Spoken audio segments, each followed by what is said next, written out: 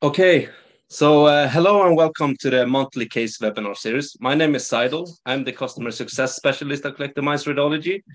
I can see that there's a lot of new people showing up, so uh, I'm going to repeat myself a little bit from the last webinar. For those who haven't joined the last time, uh, this webinar, we have Dr. Imran Lasker, who is a consultant radiologist, who's going to go through a couple of cases on Collective Minds while he's doing it, uh, he's going to ask you questions. So in the chat, when you do uh, decide to reply, there's going to be two options. So you can either uh, decide to send to all panelists or to everyone. So I, I ask you please to send to everyone so everyone can see your answer.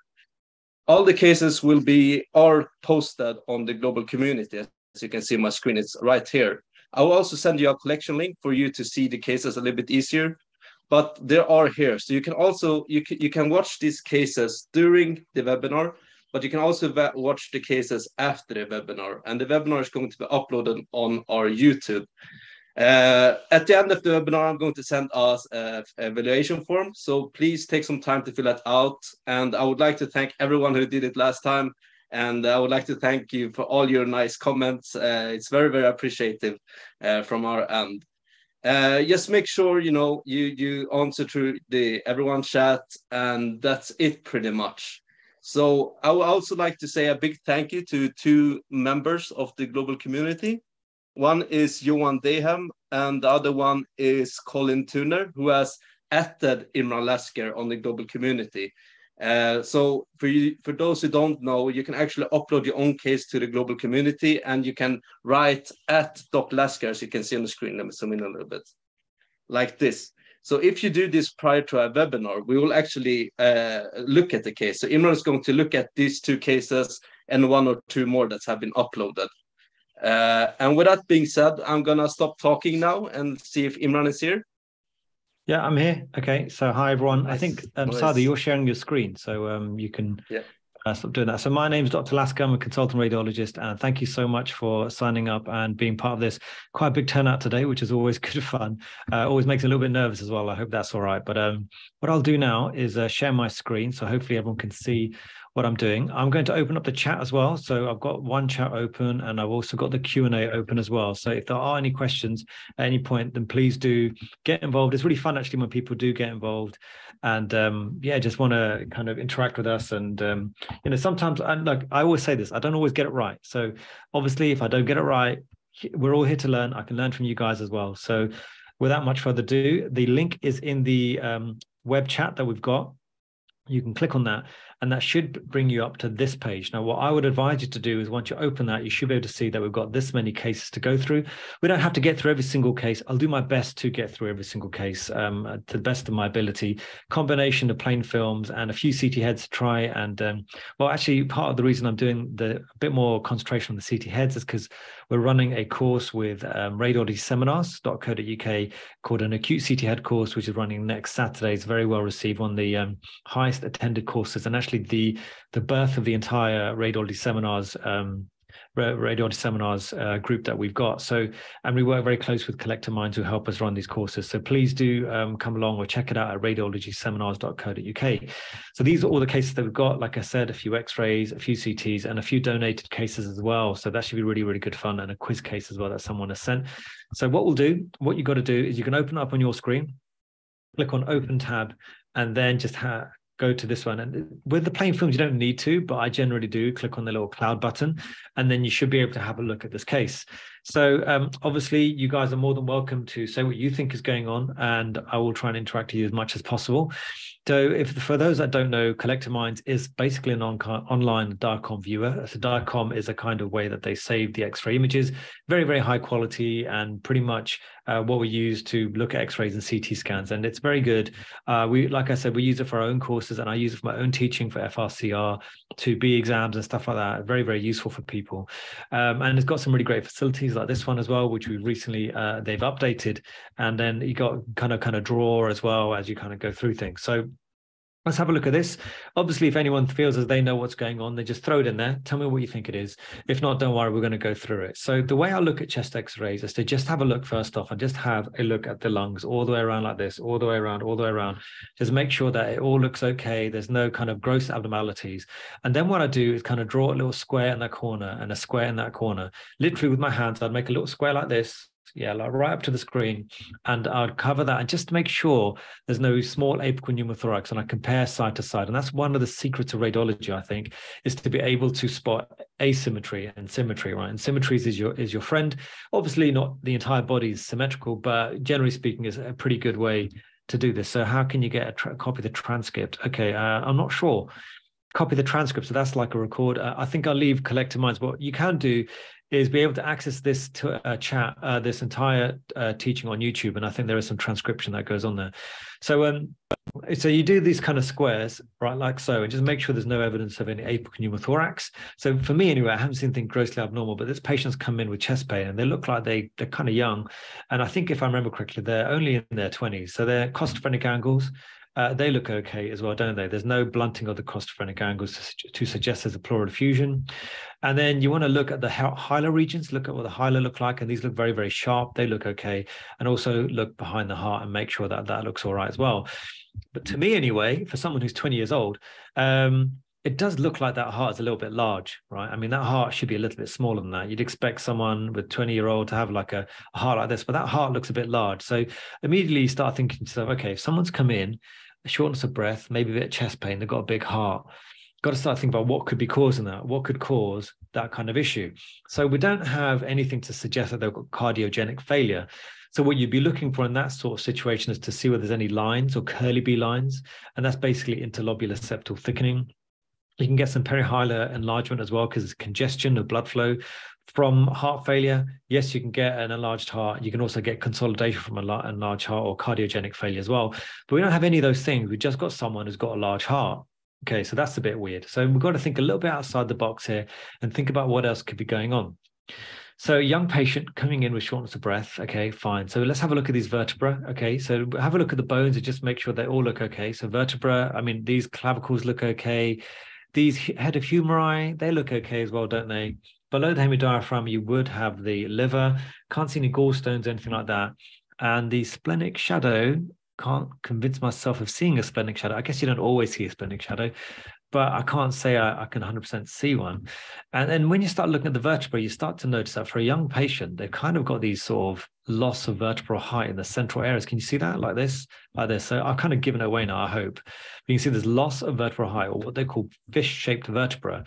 Why do they call it fish-shaped vertebra? Is that how people draw fish? Anyway, so they're fish-shaped vertebra, and that is to do with sickle cell anemia. So this patient's unfortunately got sickle cell anemia. They got cardiomegaly as a result of it. They may have um, sort of uh, infarction, multiple infarctions of their spleen, which is a result of a lack of a splenic shadow, and you've got this loss of vertebral um, height. And then you, the other thing you want to look for is make sure there's no gallstones, because that's very common, and you want to look for any avascular necrosis of the humeral heads, because that can be very common. You can also get widened trabeculation of the ribs, and I, I don't know if you can convince yourself that those ribs are slightly widened but they can actually become so wide and they become like prison bar, like prison bars, and they call it prison bar ribs. And um, that can be because of hemopoiesis. So your the the bone marrow starts to hypertrophy and you get hemopoiesis, and then you end up getting sort of very, very fat looking ribs. And that can be very, very common uh, in sickle cell patients. So this patient, uh, if you've got someone who's young with a big heart, do think about sickle cell anemia, have a look at the bones and make sure um, there's nothing going on there. Right, so let's have a look at this case. Um, I don't know if anyone can see that abnormality straight away, but don't worry. I, I, think it's all about system. So if you haven't seen it, just use a system. Always, always use a system, right? So first off, let's have a look at that costophrenic angle, and that does look like it's a little bit blunted. So I, I wouldn't be surprised if there's a bit of a pleural effusion there. Look at that. Oh, someone's come out with it. That's good. So then the other side, costophrenic angle looks okay. And when you draw those squares in the corner, I think you can all, I think we can all agree there is a difference between that corner and that that kind of area there. So this looks very, very opacified. Someone has said it's a golden S sign, which is perfect. That's exactly what you'd say. But I would encourage anyone, if you are sitting exams, is not just say golden S sign, because yeah, fine, everyone knows what it is, but you need to describe what you think it is. But by describing what you think it is, you've got to describe what it like what else you're seeing. So what is a golden S sign for those that don't know? It's a collapse of the right upper lobe. So when you get a, a kind of almost uh, uniform collapse of the right upper lobe, you can see that fissure being like this, and a almost conf- like very, very uniform, consolidated appearance to that right apex, right? So the other thing is that you've got to think about, okay, why has that happened? There could be a lesion, there could be some lymphadenopathy, but there is no lymphadenopathy. Okay, fine. So no lymphadenopathy there. But you can see that hilar looks slightly raised. If you kind of look at that hilar compared to that, that's definitely raised. Look at that diaphragm. There's a bit of tenting of the hemidiaphragm as well. So you've got tenting of the hemidiaphragm raising of the right um, hilar region. Sometimes you get a bit crowding of the ribs because you know there's lo- lack of lung volume, but in this particular situation, I don't think you can say 100% that that's the case. But what you can say, yeah, definitely lo- lack of lung volume in that high in that right hemithorax. There's incre- uh, elevation of that right hilum, and there's evidence of this golden S sign. Now the thing is that you got to start thinking to yourself, yeah, exactly right. What else? So there is a bit of tracheal deviation as well. So that's also conforming to the idea that there's lack of lung volume on that side. And then, you know, what could cause it? You could have a lymph node, you could have a lesion, you could have a tumor, you could have all sorts of things, mucus plugging. So you've got to start looking just to make sure there's no evidence of any bony destruction or any clue to tell you what could be causing that particular situation for this patient. On this particular x-ray, we don't have anything like that. We just have a lack of lung volume. And so therefore, this patient will need to end up getting a CT scan for further investigation for that. So hopefully that wasn't too difficult. Well done for those of you that picked it up straight away. So this one person, I think they kind of got her on their um, on their um, finger, and hopefully what I'll do because I, we've got different varying of ability here. So what I'll do, just make sure you go have a really good look, right, and just make sure that you've um, kind of really drawn alignment of everything. So just make sure that you draw around like so. Let's get that pen draw that pen, go all the way around like so, go all the way around like so. Make sure that you're really drawn around, drawn around, drawn around. And actually, as you draw around this area here, this terminal phalanx, actually, let's get that pen back like this. You can see there's like a discrepancy there. Can you see that? Like that. And there's a crack there and it goes through. So that looks like there's actually a fracture of the base of the terminal phalanx of that finger. And I think I remember this to be the middle finger. It can be a bit difficult to figure out when you're looking over here, but one, two, three, maybe four. Yeah, fourth, fourth finger there um, has been um, been fractured. So yeah, there's a fracture of the distal phalanx with articular surface involvement. So quite important that you say mm. there's articular surface, surface involvement on that one. Okay, so let's have a look at this one. Again, if it starts to upload a bit slowly, then just feel free to click that little cloud button. You see a red line going right across the front there, like so. And then again, just like a normal diagram view, you can zoom in, zoom out, rotate if you want to. So I'm going to do a bit of rotation here just to orientate things slightly better for us. And then have a look at this elbow. So this looks like an adult elbow. Doesn't look like much going on here. Doesn't look like um, there's any obvious break from what I can see. But so you want to draw all the way down like so, all the way down like so. No crack there no crack there at all. There's no posterior fat elevation from what we can see, but actually you can see there's a little bit of what looks like an increased density located within this region over here. So that's to kind of make you think, okay, there could be something going on, right? Because there's a little bit of fat here and a little increased density. There could be hemorrhage located within that region. The one of the things I like to say is always look for that champagne glass. So you do this, this looks like a bit of a champagne glass. And if that champagne glass is broken, then you've got a supracondylar fracture. We can't see supracondylar fracture at this present time, but there's definitely feel like there's a bit too much haziness going on over that region. That um, that uh, that elbow area looks okay as well. That sort of olecranon looks okay. Then you look at that coronoid process. Okay, that doesn't. Let's see. That is that worrying. Let's zoom in. Zoom in a bit. So coronoid process is a bit difficult to see, but actually it feels like that radial head doesn't look quite right. So if we go to that and go like this, going along like this, it feels like there's a, a radial lucid going along like so, and then carry, and then the radial head carries on like this. So now we actually do have another view. What we'll do, we'll zoom in, and radial head is very, very sort of high yield area for looking for any fractures. And here it's a lot more obvious. Can you see that? There's a clear sort of discrepancy in the cortex like this. So there, there's a bit of flake of bone there. You've got a bit of a break there, and you've got a linear thing going along this way, a bit of impaction. And that line you can't see so well on this particular view, but you can expect it to be going all the way to that articular surface over there as well. So this is a radial head fracture. My high yield area would be to look for a radial head fracture as well. So the other thing I would want to say with regards to this is when you're looking at this, you can see that there is um, what looks like a joint effusion. So there is some kind of hemorrhage that's located over here and causing elevation of a fat pad in this region. Now, sometimes what can happen is that the fracture could be outside of the joint capsule. So the joint capsule could be here. And if the fracture's here, you may not have any elevation of any fat pad whatsoever, but there is a fracture.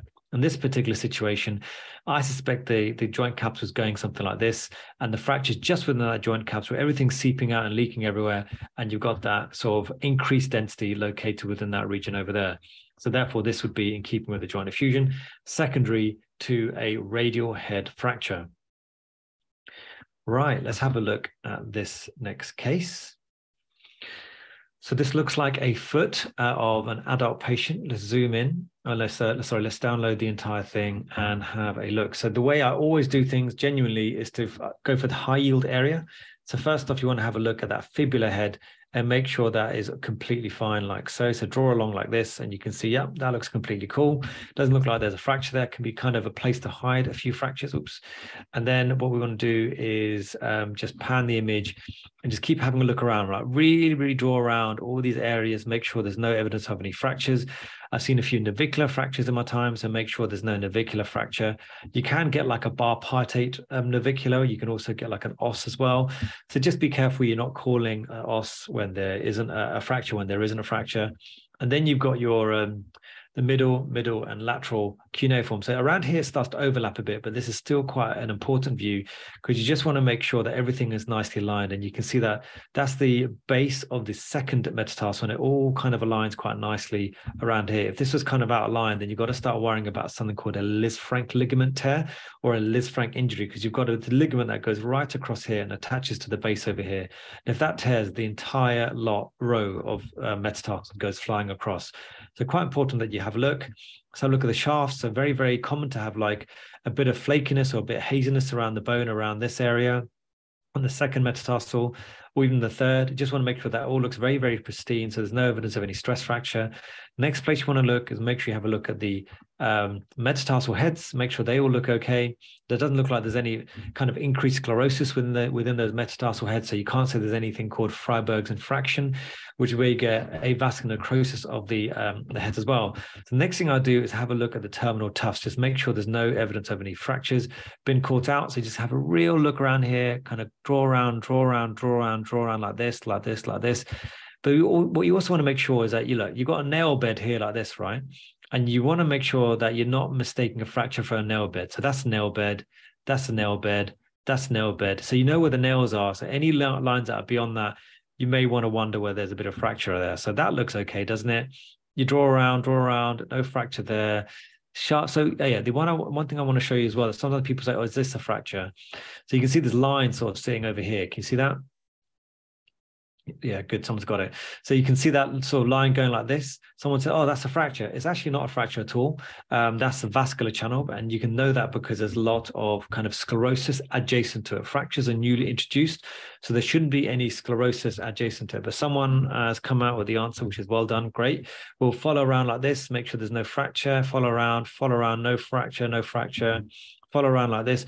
Oh, your base of fifth, you want to make sure no fracture there. Very, very important. Shaft is all okay coming up here and yeah, there you go. Well done. Someone has seen it. There is a fracture sitting right there. So if I was to draw a line going like this, you see there's a little kind of like a hazy line that like that, a sharp line like this, and then a sharp line like this, and there you go. So this is in keeping with a fracture of the proximal phalanx of the fifth toe or the little little toe. Uh, and just make sure there's no other fracture, but this really is the only fracture that's on this particular X-ray. Right, so we have a, another elbow I think this might be. I mean, I, I, I don't know whether it's the same one, but look, I'm just going to go through this quickly, just in case it's not the same one. I don't think it is actually. So um, on this particular one, we have another look and make sure that we've done all the check areas. So make sure that you've drawn that sort of champagne glass. Make sure there's no champagne break. So that there's nothing broken there from what we can see. But in this particular situation you kind of almost feel that there is a bit of a raised posterior fat pad. That doesn't seem right. And like the other case we do have a bit of increased density located within this region and some elevation of the fat pad over here. And similar to the last case when you have a look at that radial head so you can cut the radial neck you can see there's a bit of a discrepancy there like this like this like this going along like so. So there is definitely a fracture of that radial neck and everything kind of looks a bit abnormally angulated like this. So this patient, a bit like the last one, except with this one, we've actually got a raising of the posterior fat pad, which further tells us there's definitely something up. If you didn't have that, and you only had that, then all you can say is, is there is a fracture, most likely to be a supracondylar fracture. If you definitely, definitely looked at that radial head and not seen a fracture there. One bit that people don't often look at is just to have a look at this um, cor- uh, coronoid process here, because if that fractures, the entire elbow becomes very, very unstable. So just be important to have a look and make sure that is completely intact as well. Right, so let's have a look at this case. Uh, open a new tab and let's download the images. Okay, so on this lateral view, uh, okay, are there not, there's no more, okay, we do have two views there. So on this lateral view, it can be a little bit difficult. Okay, so I will go to the other view, which is a bit more obvious. But what you, I mean, what I always do is just make sure I have a look at that base of fifth. It's such a common place to get fractured, um, regardless of what we think is going on. We will uh, zoom in and just have a look at that base of fifth. So base of fifth looks okay. So very, very important to make sure that's okay. And it's kind of overlap. We'll have a look on the other view. Make sure you have a good look at that navicular. We don't see any soft tissue swelling. So often the soft tissue is ignored. So you just want to make sure there's no uh, soft tissue swelling anywhere. All right. So that's um, that's a good thing. We don't see any soft tissue swelling at all. So someone's come out with it. Well done. So what we'll do is go to the calcaneum as well. So that's very, very important. You have a look at that calcaneum and just draw the trabecular lines like this you've got to draw those trabecular lines, at least with your eyes, right? If there's any sort of discrepancy in the discrepancy in those trabecular lines, then you have to think that there could be like a calcaneal fracture. But in this particular situation, we don't have one. Sometimes you get a bit of inflammation around this area, it could be plantar fasciitis. It's also very good to have a look at this sort of posterior aspect over here where the Achilles is, just to be sure that that looks normal. There's no inflammation, there's no tear when you start to look around this area, you start to notice that there is this sort of radiolucent line going along, along like this. Can you see that?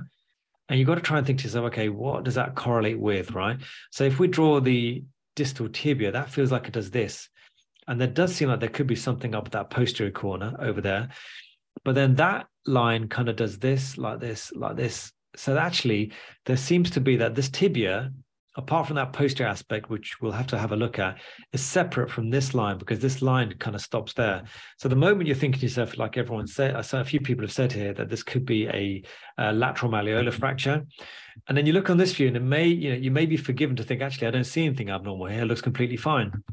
But actually, when you look, you can see that there is an increased sclerotic appearance to, to this area over here, which is actually the fracture that we were looking at earlier and that is that because of the fact there's a bit of overlap between the fracture fracture ends, and that's what gives that sort of increased sclerotic appearance. And at first glance, you may think is completely normal.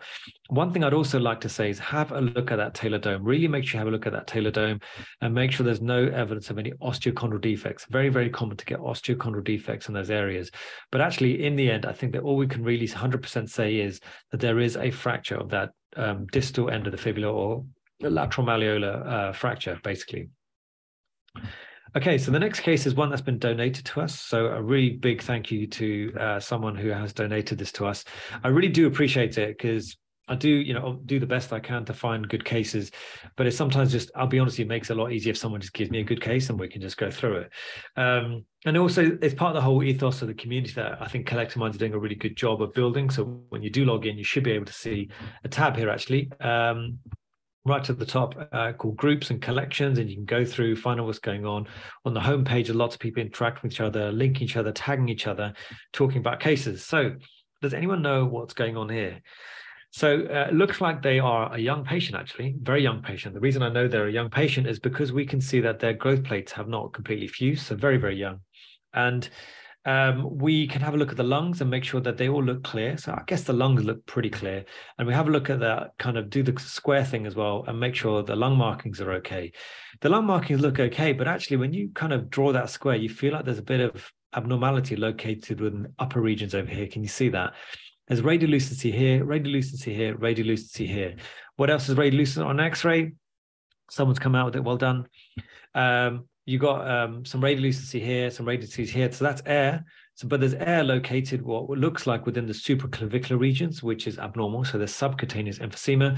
And then someone's come out with it. There looks like there's sort of a double line going like this. Can you see that going all the way around like this, all the way around like this? For those that can't see, I'm going to zoom in just make sure that everyone can see it there is a definite, definite line that goes along like so, along like so, along like so, and there's like a second line there. So therefore, so you know when you're looking at X-rays, for those that don't know, it's all about contrast. And when I say contrast, it's about the difference between densities. And so if you've got something of low density next to something that's high density, you'll see it. But if you've got something that's high density next to something that's high density, it's unlikely you'll see it. So in this situation, you shouldn't really have a second line. So there must be a second radiolucent line that's sitting between the lung and between the between the mediastinum. And therefore, this would be consistent with what people have said already, pneumomediastinum. So you've got a young patient who's come in with pneumomediastinum, which is a bit unusual, isn't it? Like why would someone who's young uh, come in with pneumomediastinum? So I'm just going to open uh, the case maybe we've got a bit of clinical history but for you someone young it's quite unusual right? So quite unusual for someone young to have pneumomediastinum so someone said it could be asthma yeah i guess so. Quite quite rare but it could happen. They could have swallowed something. That could be one thing that could have caused it and they could have a perforation. And something else they could vomit a lot. So when they start vomiting a lot they could be very very sick. They can actually tear a bit of the esophagus which would result in this pneumomediastinum as well. So a few different reasons without much more clinical history is difficult to see or say but let's have a look, and we can see that thankfully, this person who's donated this case uh, kindly to tonight and all of our learning, uh, we've got a CT scan of this young patient. Yes, exactly right. So someone said it could be Boerhaave syndrome, where someone has vomited and vomited and vomited, and then in the situation. So first, if you can see in the supraclavicular regions, 100%, yeah, there's definitely all this sort of low density stuff and there's actually some of it's tracking around the posterior aspect as well. You can see all this low density stuff around the mediastinum uh, all the way down here as well. So let's go to the lung windows. I'm going to just move it to the middle of the screen so i can see it slightly better and so what you can do is give um, contrast sometimes you're really worried about the patient or do a fluoroscopic study to see whether any sort of contrast um, actually ex- extrudes into or outside of the mediastinum. In this particular situation, I don't think I can 100% say. So that's the esophagus, right? And I can't say that I can definitely see any communication of any air coming out of the esophagus anywhere at all, actually. So it's a bit difficult to know why this patient has had this particular situation and, and very unusual for someone young to end up having uh, what is essentially pneumomediastinum. But you can see what we're seeing on the X-ray, a bit of a, a radiolucent line or a bit of a, an interface between the heart and the lungs all the way around here and all that interface of uh, air between the fat and the subcutaneous tissues and the muscles as well, giving us what we know to be um, uh, pneumomediastinum. So really, really interesting case. Right, so let's have a look at the CT head. So what I'm going to do is download this and just wait for it to download, and then we'll go from the very, very top once it's finished in download. And I mean, this is why I, I use radiology seminar, um, uh, collective minds for radiology seminars, because it is that quick that everyone around the world, you know, we've got so many people with us today, almost 100 people today, sometimes more that come to the courses and they can all look at these things live with one with one another. It just doesn't slow down. It's really really good so far. So, so let's work from away from the top, working away down, working away down. And to me, anyway, when you're looking at this straight away, you can see there's a difference between that area and that area. So if you look at the gyral fold, you can see gyral folds there, but this just feels a little bit crowded to me. There's, there's just something something to be not quite right. Coming further down, you start to see that yeah, there is a sort of increased density sitting within that region over there. Can everyone see that? Coming further down, it looks a bit like, hmm, looks like a, a, bit of a moon, like a ellipse, like an eclipse or something, not eclipse, um, a crescenteric sign.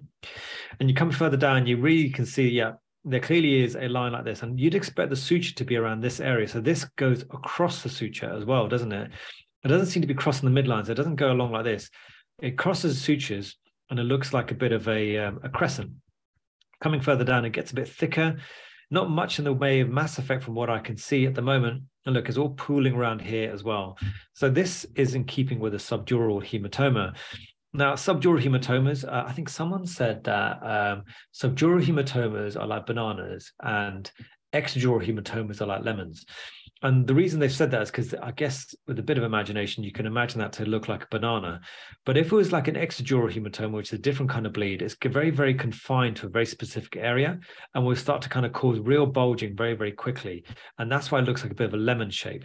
And the thing with extradurals is they is that they don't cross suture lines.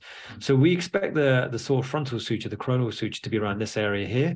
And um, this clearly goes right, right the way across. So this is clearly going to be a subdural hematoma. So that's it. We're done, no? Are we? Are we done? No, we can't be done. We've got to keep looking. So we're going to make sure we haven't seen any other bleeds anywhere else. And as we kind of came further down, you can actually see the sort of spider-like uh, linear higher density sitting around this area. Can you see that? So it actually feels like there could be a bit of a, a subarachnoid bleed as well going on within that region over there. Coming further down, it feels like there could be a bit of a difference between the tentorium cerebellum there and a bit of a difference in the tentorium cerebellum there. So that means that there there is a bit of pooling of blood on that side as well. So we do have a, a subdural hematoma. We've got a bit of mass effect because there's complete sort of loss of the normal gyral folds. And then actually there is a bit of midline shift because if you draw a line, I drawn a terrible line there, didn't I? But if you draw it like a straight line this way, I haven't drawn a great, great line. I just feel like there could be a couple of millimeters of midline shift, and there's a bit of this sort of more linear um, hyperdensity sitting over there, which does make me worried there could be a bit of a subarachnoid bleed as well.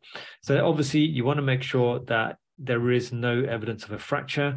So subdurals don't aren't usually um, associated with fractures. Extradurals are. You can see that suture I was talking about before. Coming further down, you can see just about that that subdural hematoma is crossing that suture. Therefore, this conforms to what we think to be a subdural hematoma. Coming all the way down, we just make sure there's no evidence of any fractures. And there was a fracture actually. Did, did anyone see that? I'll do it again. I'll go from the top. There was a fracture. Tell me, let me know if anyone see it, saw it. Any fractures? Any fractures? Any fractures? Yeah, good. Any other fractures? You've seen the zygoma. Anything else? So yeah, well done. So someone's seen that. Yeah, here we go.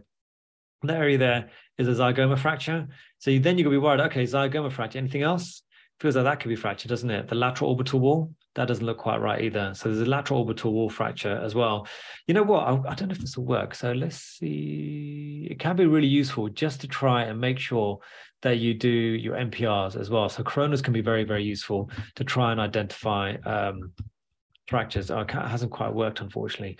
Anyway, so what I would suggest to do is if you are um, trying to look for fractures, do use, make use of all the views that you've got available to you and um, and then actually you can sometimes mip the images and make them a lot thicker. And that helps you try and identify the more subtle fractures but there was a fracture on that one but not associated with the bleed by the way. So i wasn't completely uh, wrong when i said even though i said that subdural hematomas are not normally associated with fractures i wasn't entirely wrong because it wasn't the subdural the fracture didn't cause subdural hematoma. I hope that makes sense. Uh, I th- that makes sense doesn't it? Right okay. Let's go to the next case open a new tab. Let's have a look. So this patient, I think it was a car crash, bit of a car crash of a scan, if I remember correctly as well. So let's go from the top. If anyone can tell me what they think is going on. So I'm going to scroll from the very, very top all the way down. So to me, anyway, it feels like the gyral folds aren't really anywhere. Like, where are they? Not much in the way gyral folds at all coming down. Uh, okay, so I haven't seen any big bleeds either. Yeah, someone's come out with it. Good, good. So, but what's the sign? What's the sign? Someone said it, but what's the sign? So the thing is, there's one thing saying what it is, but it's also good to try and say like what is, why you think it is what it is. So for those that don't know what it is, don't worry, I'm going to say. So first off, we can see there's complete lack of the gyral folds. If we went to that previous scan, there were like these sort of um, kind of wrinkly looking prints of the brain, but this clearly has lost a lot of that wrinkliness, right? That's one thing. And actually, when you come down to this area, you feel as though the subarachnoid space is a little bit more dense than before. Like if you look around here, to draw a line like this and this, these look a bit denser. And all these areas look a bit denser as well. And so, you know, some people say, oh, you know what, that's a subarachnoid bleed. and that's what's called cerebral edema. But actually, it's the other way around. So this is actually um, what's happened is that this person, if I remember correctly, I think they might were in a car crash, and uh, they've ended up with global hypoxia. And when you've got global hypoxia, it can make the subarachnoid areas look brighter, and that's called a pseudo exactly pseudo subarachnoid sign. So someone has said, is there a um, a thrombosis somewhere? So don't be fooled. Every sinus right now is going to look brighter, and the reason for that is because so much edema and there's actually a fair bit of loss of the normal gray white matter differentiation. And it actually altogether results in this very abnormal appearance to the subarachnoid spaces. Now, sometimes you can have something called like a dense cerebellum sign, where the blood supply to the cerebellum is still maintained. So you actually have a normal appearance to the cerebellum, but an abnormal appearance to the rest of the brain. So you'd go through and everything looks okay. It looks very, very sort of like this. And then suddenly the cerebellum looks kind of normal. So that'd be like a dense cerebellum sign. But this is a, a pretty typical appearance of a subarachnoid secondary to global hypoxic brain injury. So this is actually not great for this patient at all. And also just make sure there's no fractures anywhere because if someone's been in trauma, then uh, you'd be looking for any fractures. And I don't, if you know, I think this person tried to hang themselves. Yeah, actually, can everyone see that? Is there any fracture? Can you see down there? Looks like their odontoid peg does not look quite right. So I think this was um, a hanging attempt. And um, I think the rope uh, because your brain, your head, your neck is not meant to take that kind of pressure. So when someone has an entire human body weight onto their their spine like this, you can end up getting fractures. And there's actually something called hangman's fracture. And this particular situation looks like it's a little bit more than just a hangman's fracture. So hangman's fracture usually going to be like the spinous process of the posterior, like C2, C1 and C2.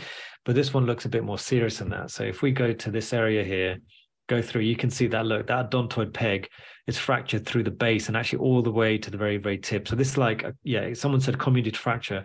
So sometimes people will say, oh, you know, what type is that odontoid peg? One, type one, type two, type three.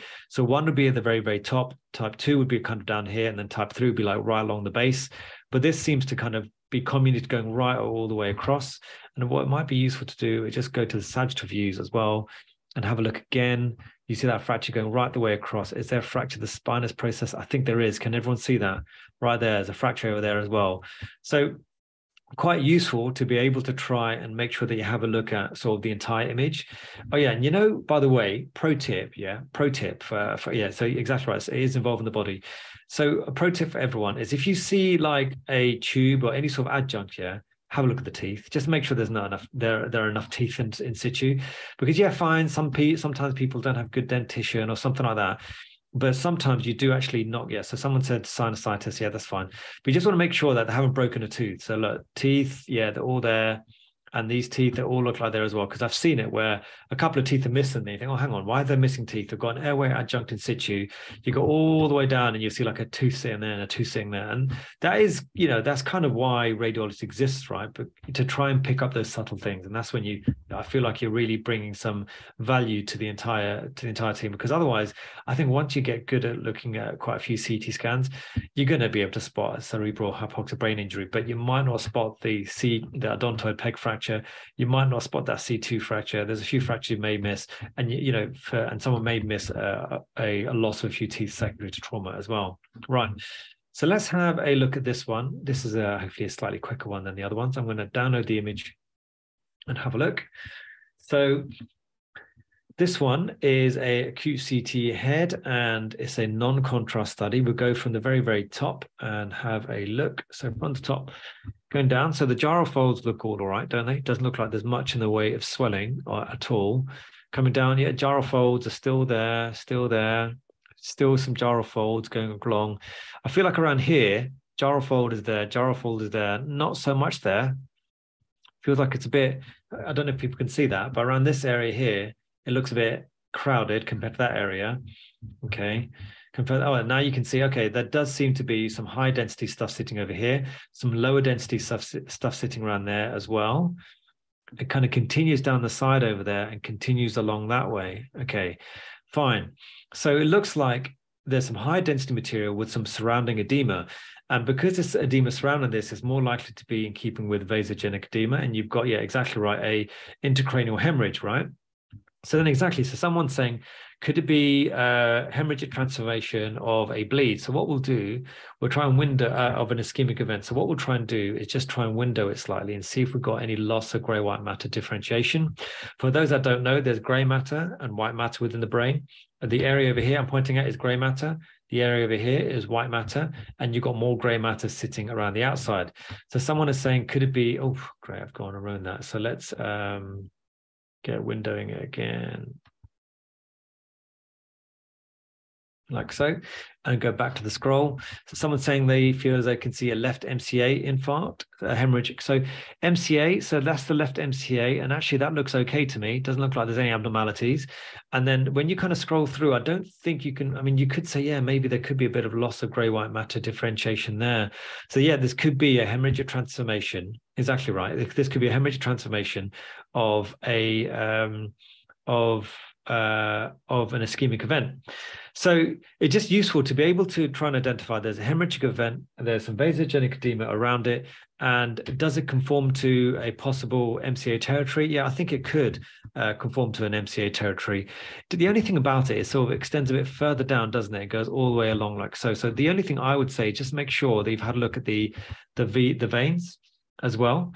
Uh, and they say, and someone said left MCA is enhanced. So there's no contrast within the scan. It's a non-contrast scan. So you can't say there's enhancement. So um, yeah, that, oh yeah, luxury perfusion as well. So that's something that that you know what that kind of stuff will come up in my course. So luxury perfusion is something that's going to be a little bit advanced. But anyway, um, what we can say is that there's definitely a hemorrhage uh, located within that region. Uh, it's located in the parietal area. I, you know, when you kind of scroll through, I don't think you can say there's lots of grey white matter differentiation there. And there's definitely no MCA infarct there as well, because the MCA looks completely normal. Everything else looks okay. So actually, you've got to start veering off to thinking like, okay, could this be a hemorrhage transformation secondary to an infarct, or could this be a venous thrombosis? So personally, I would actually, I'll probably hedge it a bit and say, you know what? Um, yes, there is some uh, like um, there's a bleed, I'm not convinced there's complete lack of uh, grey white matter to differentiation loss within this region. I'd be concerned there could be a venous infarction here. So I would actually either move on to do an MRI, scan, sorry, an MRI scan, look for diffusion weighted imaging, uh, or um, or do a CT a venogram as well to just have a closer look at that area. Okay, right. So let's have a look at this case we're going to come. Um, I don't want to miss the donated cases. So there are there's one more donated case, I think, from what I remember. No, two more donated cases. So where are we? We're doing good for time. So as long as everyone else is okay, I'm going to carry on. Right. So um, let's have a look at this case, going from the very very top. Scrolling through, okay, so grey white matter differentiation all looks okay so far. Someone said exclude mass via MRI. Yeah, you could do that if you're worried. I don't think I could really feel like there was a mass there. Felt like more bleed than a mass, but yeah, you know, do a contrast MRI scan. Okay, so coming from the top here, so this was okay. So no loss of grey white matter differentiation anywhere. So we're looking for um, any mass effect, any lesions anywhere. Let me know if anyone's seen any problems. Haven't seen the grossly abnormal just yet. Scrolling through, scrolling through. So no no midline shift. Let's have a look at the grey white matter differentiation. Let's scroll through. So for those that don't know, look, this is gray matter, and then underneath that is white matter. So you want to make sure there's gray white matter differentiation all the way through. No loss of gray white matter differentiation at all. But actually, if we reset that image, and now I'm telling you this is a trauma scan. Oops, reset that image again. It's a trauma scan. Go from the very, very top. Can you see around here? Can you see that? Zoom in there, some high density material get there. Can you see that? So some high density material sitting over in that right frontal lobe. Is there any more? Yeah, can you see around there? You feel like there could be a little bit more there, maybe a little bit there as well. So does anyone know what that is?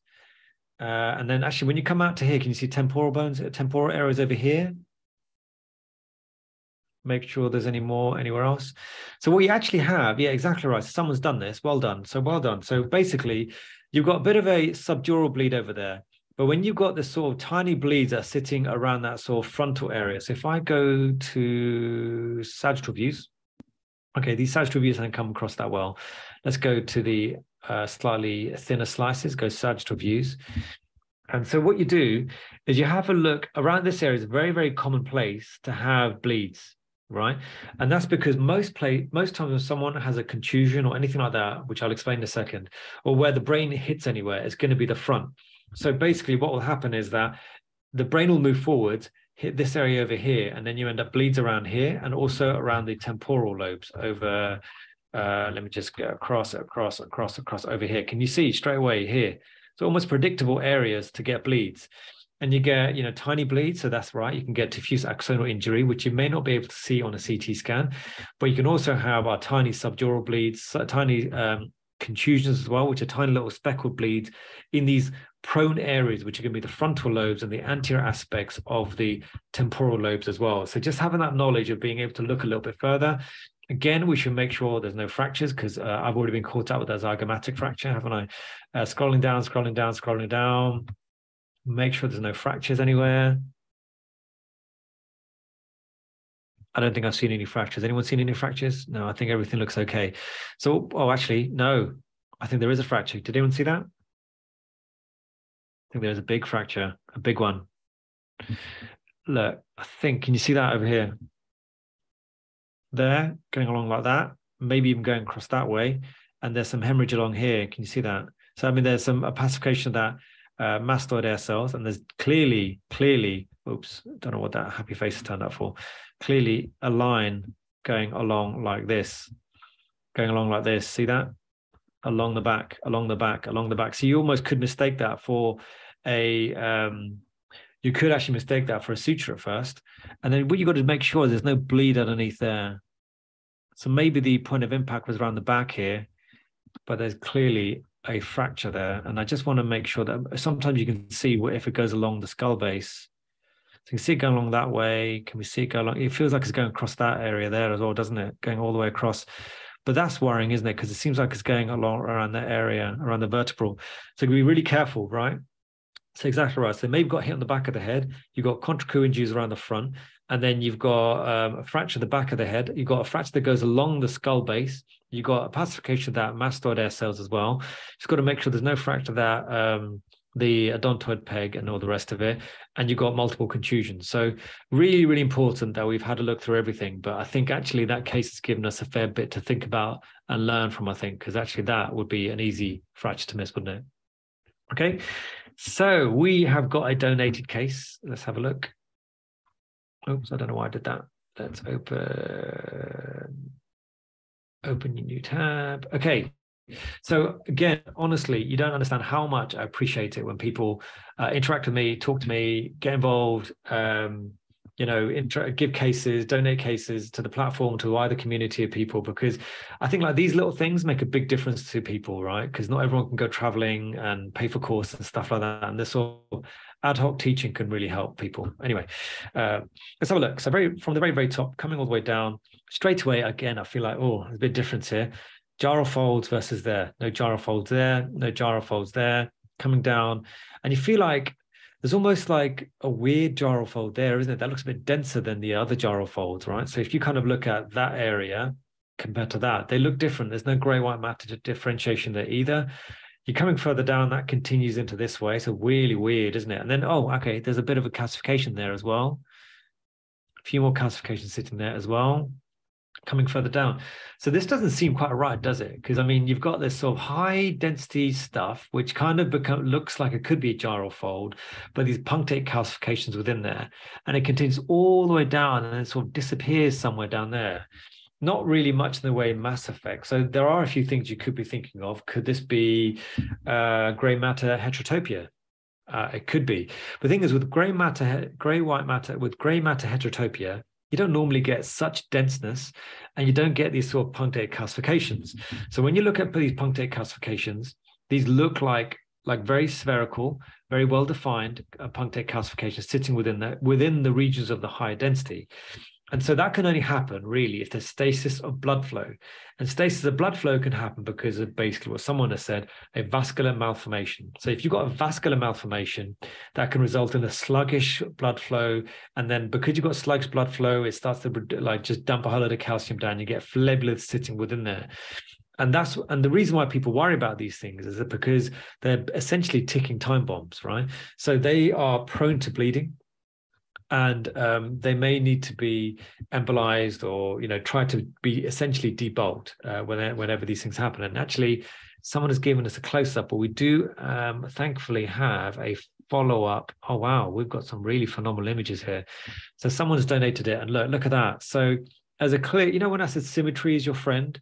I mean, you do really need to look for much more asymmetry than that. You can see there's these fat python-like vessels sitting around this region over here. This isn't great. I mean, for the patient because they, you know, they they could suddenly wake up with a headache and end up having uh, a, a quite significant bleed. Let's go through these images. These are really phenomenal images, aren't they? Uh, scrolling through, this looks like an MRV. Look at that. So it feels like it communicates with the what the superior sagittal sinus there you can see this multiple tiny tributaries, like a absolute like river bed of activity going on there. So yeah, this is a really phenomenal, phenomenal case of a vascular malformation. So very, very, very, very much appreciate the donation of that one. Thank you so much. Uh, okay, fine. So let's have a look at the next case. Again, kindly donated to us. Let's have a look and see what's going on. So straight away i'm thinking this is a young looking patient scrolling all the way through is this young let's have a look so the way to see, see if someone's young is look at the bones and can you see growth plate growth plate yeah okay look growth plates there growth plates are here the acetabulum are incomplete you can see growth plate over here in the femurs as well so this is a very very young patient very very young indeed uh, clearly had a ct abdomen pelvis with contrast which you can see there scrolling through, let's have a look. So, what could cause pain? Gallbladder can cause pain. Adrenals could, don't cause pain, so I'm not too worried. Kidneys can cause pain if they're blocked. They look okay sitting over here, over here, and pancreas can cause pain, but they look okay as well. And then if we go all the way to the bottom over here, coming all the way to the top, I always follow the bowel, follow the bowel, and make sure there's no gross abnormalities. Bowel, bowel, bowel, bowel, bowel, all the way across. We're going to transverse colon, all the way across transverse colon, all the way down to the descending colon, all the way down, all the way down. And oh, okay, that's a bit bright, isn't it? Something something's going on there. It feels like it just shone shone a light in your face. So um, let's have a look at that. So it looks like there are these high density materials sitting within the bowel area there, doesn't it? And you know what's interesting about this and why this matters is because I think this is a very young patient and what they've done here, that they looks like they've done an X-ray after the the initial CT scan, right? And you can see contrast going into the urinary bladder. So I reckon that X-rays happen afterwards, and then and you can see that kind of ball, the, all those balls. So why is this important? So are we worried about this? And if we are worried, why?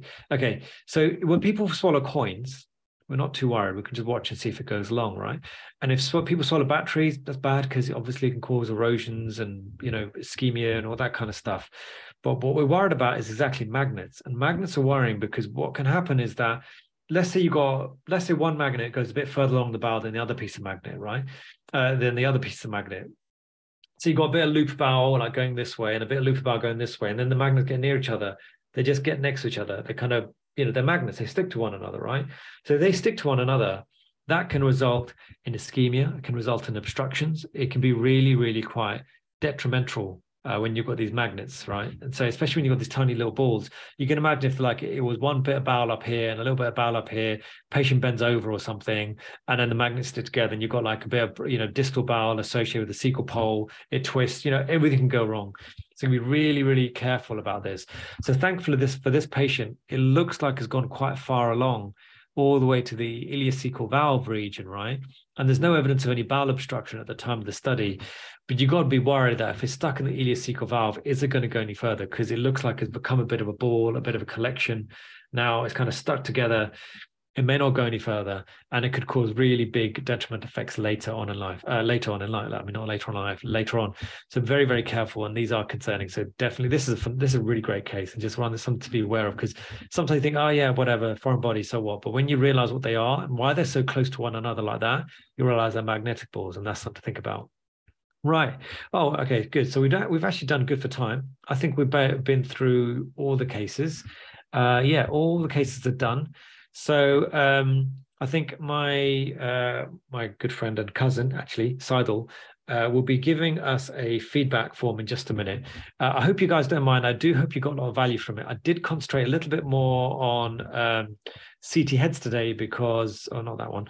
Um, I did concentrate a little bit more on CT heads today because uh, we are running a course next Saturday um, called Acute CT Head Course. So if you do want to come along, do check it out at radiologyseminars.co.uk. There, there it is, Acute CT Head. It's very well been very well received over the years I've been running it. Do click on that link and give us feedback because I only can make these. I want to make this as useful for you guys as possible. I really want to be the best teacher that I can be give the most value that I can. So if you guys can just give feedback, good or bad, I don't mind. I can take it. Uh, you know, I've had days when people have called me a terrible teacher, and that's fine. At least I know that and can learn from it. So do let me know. And I do really, really appreciate you guys giving me your time. So I will uh, pass it on to Saidul and he will see us out. Thank you very much, everyone. Have a good evening. Bye. Well, Imran, as always, well done, well done. You've done a phenomenal, phenomenal job, man really, really good job. And as Imran said, I sent a feedback evaluation form in the chat. Please fill that out so we can send out the CPD certificates because you actually get one from joining these webinars. Uh, as I said at the beginning, uh, this uh, webinar is going to be recorded on uh, YouTube. So if you want to look back, you can do that on YouTube. And the case collection is also going to be posted in the description. So uh, with that being said, uh, I hope that you have a good rest of your evening, and uh, we will see you on the next webinar, which is on the 26th of April. All right. Bye bye.